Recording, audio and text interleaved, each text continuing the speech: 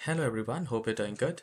In this video, we are going to update audio drivers on Windows 10, 11, 8 or 7 computer. The procedure will remain same and we will be doing only two steps to update. We will try the first step and if that doesn't work, we will move to the second step. And then you can enjoy the sound in your computer. So do a right click in the start icon and then click on device manager. Once the device manager is opened, we need to look for sound, video and game controllers.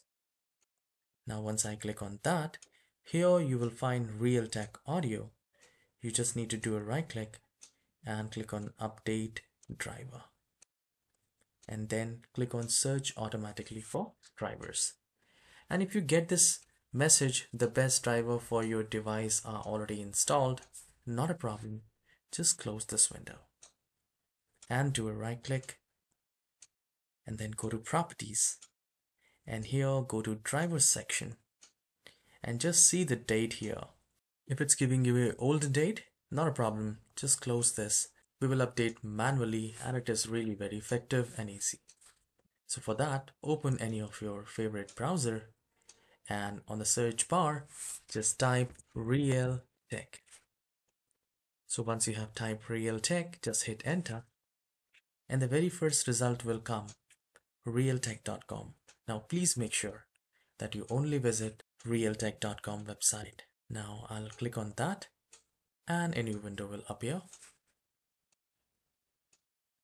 So the website will look like this. So once you click on these three lines, you need to go to downloads and then we need to click on computer peripherals ICS.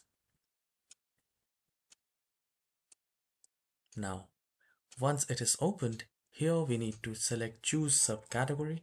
So once you click on that, we are looking for PC audio codecs.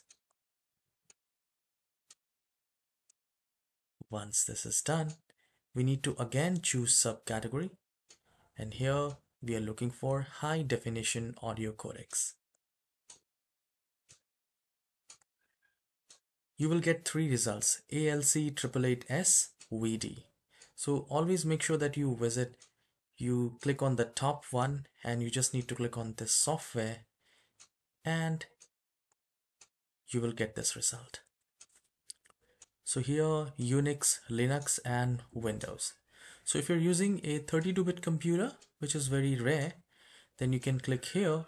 Else you just need to click on this 64-bit Vista 7, 8, 8.1, 10 and Windows 11. So for this, you just need to click on this 64-bit. The file size will be 258 megabytes. So we just need to click on this. Once you do that, you just need to I accept to above. And here you need to enter your email. So once you have typed your email, you just need to click on download this file. Now it will ask you to enter the captcha. So I'll just enter 8 plus 8, which is 16 easy peasy and I'll click on go. So I can see 252 MB is getting downloaded. Now I have a pretty fast internet but this might be slower. Please be patient and let it download. It might take some time but it will be definitely downloaded. So once it is downloaded you just need to open that file and you need to click on next next two times and it will be installed. Let me know in the comment section if it has worked for you and if you have any kind of issues Please let me know in the comment section. I'll surely help. Please hit the like and subscribe. I'll see you in the next video. Have a wonderful day.